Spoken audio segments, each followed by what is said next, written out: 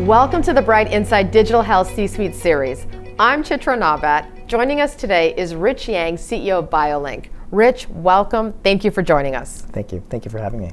Tell us about Biolinq, what the company does, how it all works. Sure. We are a biowearable company, and we're the first biowear com- biowearable company to develop a sensor to sense glucose in the dermis.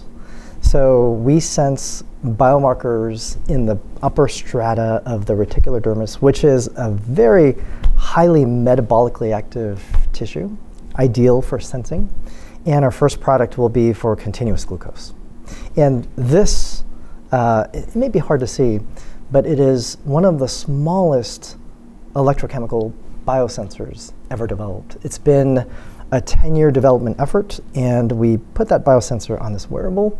And this wearable has a user interface built into it, and it's worn on your forearm.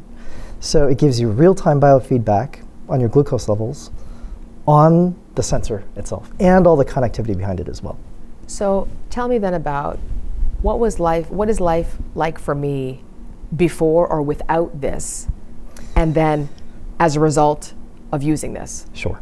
I'm going to talk about a case of type 2 diabetes for somebody that's not necessarily taking insulin. So, for the majority of people with type 2 diabetes, it's very difficult to know where your glucose levels are at. So, you have to take a finger stick, draw blood, get a number, and then manage your diabetes based on occasional episodic readings. So, with this, this gives you real time biofeedback. So, as you're wearing this, you don't have to prick your finger. And when your glucose levels rise, the sensor will show you on the display itself when you're high. And when you're in target range, it also shows you, hey, you're doing great. Keep it up. Um, without having to draw blood, without having to prick your finger. And you get all of your information on an app as well. So um, we also have activity built in here. So we have the context around what you're doing and how your metabolic health is doing. So you have your continuous glucose information and activity and sleep.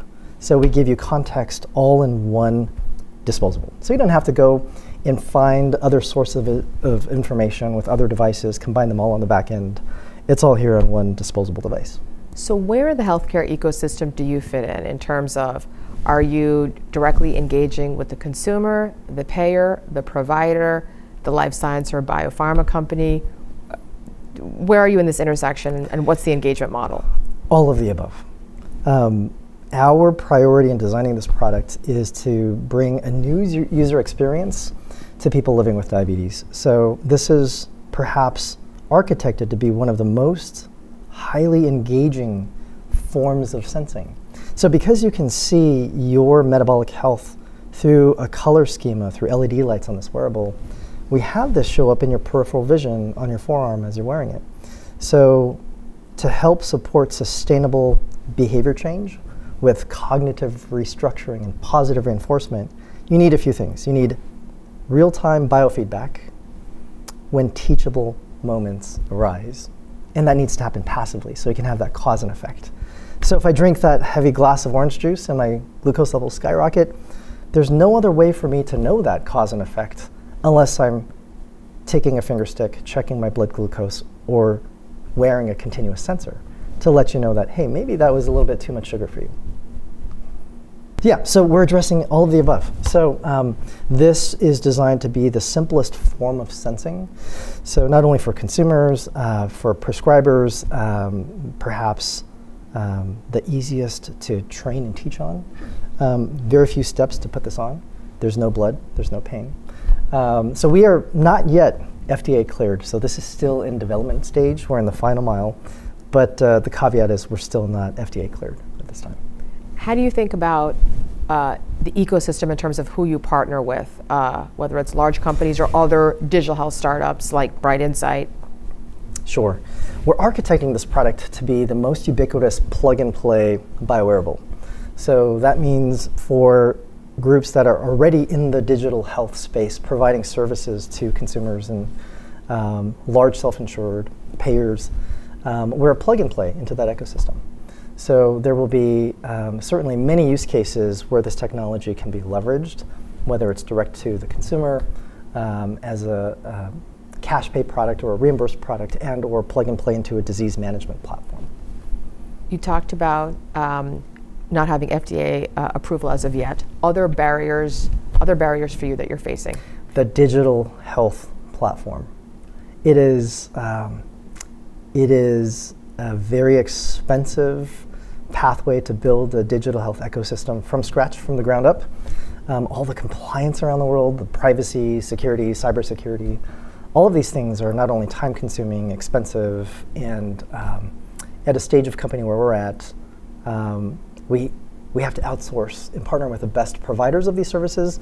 So we spend our time architecting and building biosensors that work well and to provide a new user experience and building uh, our digital ecosystem on a platform that already exists that we can build on top of. Um, so the digital aspect of things is very challenging for, for companies in, at, at, our stage in terms of uh, resource constraints and, and, technical talent to build it out from scratch.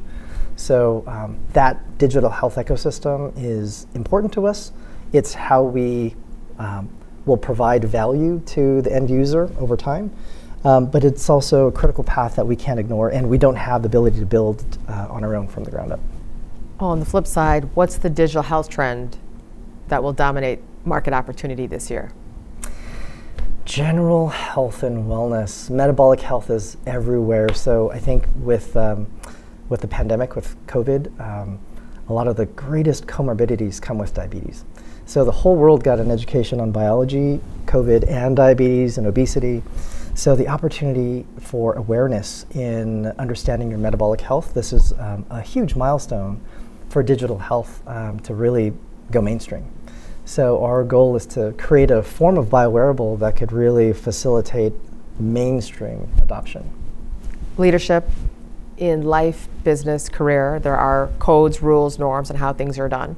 Where have you been a code breaker and how did you do it?